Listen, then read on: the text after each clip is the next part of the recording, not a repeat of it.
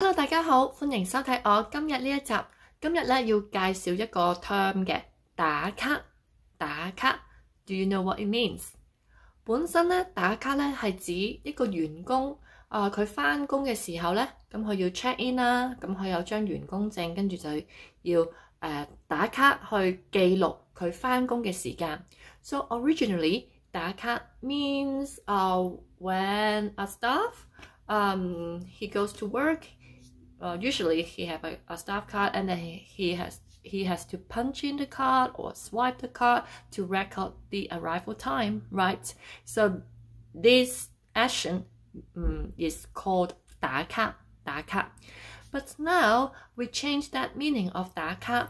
Mm, so into yeah, when you go to a very popular uh, uh, place or popular spots that you want to show other people you have been there, then you take a picture of yourself, you take a selfie, and then we call this 打卡. Yes, to show other people, I have been here, I've been there. So 打卡 is now very popular um, in the social medias because many people they will take a selfie or to show other people I've been there, I've been here. So this is called 打卡。 咁而家嘅打卡嘅意思咧，就係你去到一個好嗯 popular、好流行嘅地方啦，你好想話俾人聽啊，我去過呢一度啊，跟住你就 take 一張 selfie 嚟自拍嘛，咁然之後就 po 上網俾人哋知道啊，你曾經去過嗰度，咁呢一個嘅行動咧，我哋就叫做打卡啦。